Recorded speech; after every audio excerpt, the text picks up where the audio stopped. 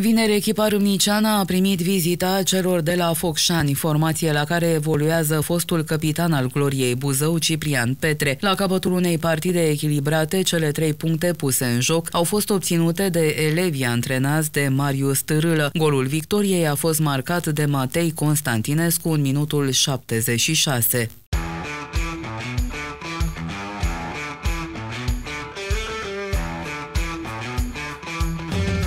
O victorie importantă, în primul rând, pentru moralul nostru, pentru încrederea noastră, că venim după o înfrângere, o înfrângere care ne-a durut foarte, foarte tare și nu ne-a trecut, pot să spun că nici acum, dar uh, o victorie meritată, muncită, un joc în care ambele echipe s-au anihilat una pe cealaltă, dar uh, spun eu faptul că am riscat, că am riscat a doua repriză, am schimbat și sistemul de joc, ne-a pus în avantaj. Am jucat totul astăzi doar pe, pe cartea atacului și doar pentru, pentru victorie. Victoria cu Focșaniul confirmă forma bună pe care jucătorii antrenați de Marius Târâlă o traversează înaintea începerii returului sezonului regular. Pe locul 2 în ierarhie, cu doar două goluri primite în 9 meciuri, echipa râmniciană are cea mai bună defensivă din toate cele 10 serii din Liga a 3 alături de CSM Deva din seria a 7 -a. Noi nu avem o strategie de a prinde, de a prinde barajul de promovare sau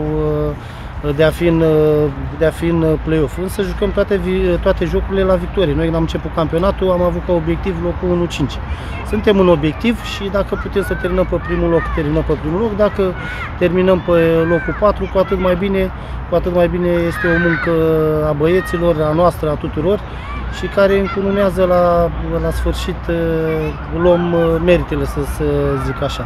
Noi nu ne uităm, uh, sincer să spun, în clasament, ci fiecare joc îl tratăm cu maximă seriozitate, indiferent de adversar și de locul adversarului în clasament, pentru că am văzut ce s-a întâmplat la Braniștea, unde am pierdut 1-0 și ne-a durut foarte mult și spun eu că a fost un dus și meritat și mă bucur, mă bucur pe o parte că am pierdut acolo decât decât să o fi câștigat la Braniștea și pierdeam acasă cu Focșan. Următorul meci pentru CSM Râmnicu Sărat este sâmbătă în deplasare la Brăila cu lanterna roșie a clasamentului. În prima etapă a turului, elevii lui Marius Târâl au făcut scorul campionatului cu Dacia Unirea 9 la 0 și Metalul a câștigat 3 puncte în deplasare la Ianca sâmbătă într-un meci în care elevii lui Valistan au condus încă din minutul 10 al partidei cu viitorul, grație golului marcat de Cristian Onțel.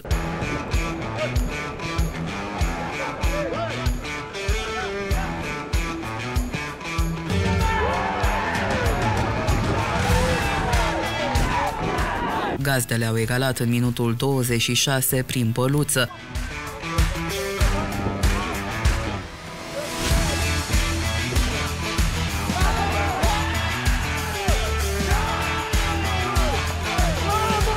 După 13 minute de la reluarea jocului, Marius Cocârla a readus-o pe metalul în avantaj, scorul păstrându-se până la fluierul final.